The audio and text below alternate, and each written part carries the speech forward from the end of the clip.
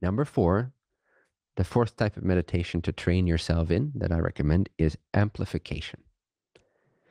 This style of meditation has one conjure up the will to see a certain presence of truth more clearly, more purely, more cleanly, more nakedly, and with greater brightness, clarity, intensity, exclusivity, meaning without other perceptions taking over or distracting or coloring in your recognition as much. So, with less distraction, that's what I mean by more exclusive. So, you're more exclusively recognizing the presence of truth to whatever degree you're able to recognize that subtle, formless presence of self.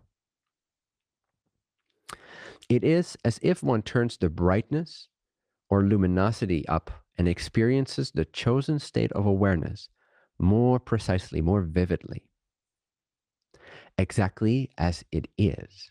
Again, not trying to make it something, just recognize how it already is, surrender to how it already is, allow the recognition of what's already true about your isness. As pure and undiluted as one can. It is as if the resolution and clarity of a certain recognition or state of being amps up.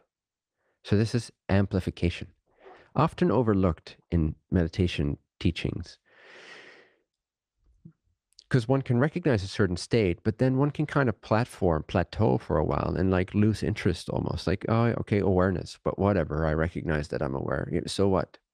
But the thing is, if you amplify it, it becomes more amazing it starts to penetrate deeper. So, penetration and amplification and surrender and abiding, they all work hand in hand and they all amplify each other. They all complement each other.